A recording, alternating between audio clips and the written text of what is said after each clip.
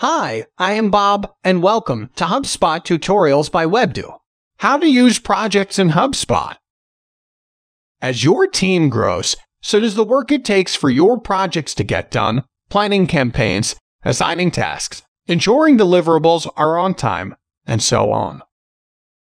HubSpot projects allow you to plan and organize all of your team's work in one place via a structured list of tasks. In order to manage your projects efficiently, in your HubSpot account, click your account name in the top right corner, then click Projects. In the All Task tab, you'll see every task that's been created for all of your projects. The associated project will appear below the name of each task. Use the filters at the top to filter tasks based on assignee, status, and due date. In the All Projects tab, you'll find a quick agenda of tasks and projects that you're working on that you've added from project templates or that have been shared with you by one of your team members. Use the left sidebar menu to navigate between existing projects or create a new project. Click Create Project to create a new project from scratch, or click Create from Template to view the project template library. Click Show Project Details in the upper right too. Assign the project to yourself or another user on your team using the Assignee drop-down menu.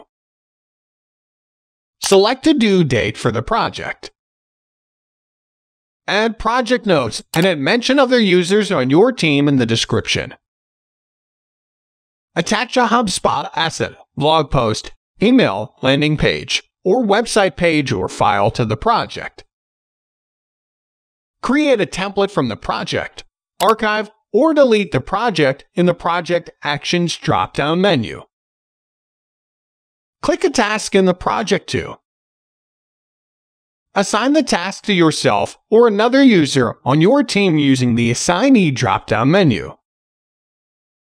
To edit the order of your task in a project, click and drag a task to a new location. To begin using an existing project template, click the Project Templates tab. Click View Template, then click Copy to My Projects. That's how you can use projects in HubSpot. Thanks for watching. Feel free to ask any questions in the comment section, and we will be happy to answer. If you like the video, give us a thumbs up and press the bell icon to subscribe to our channel. To know about our HubSpot services, visit us on www.webdew.com.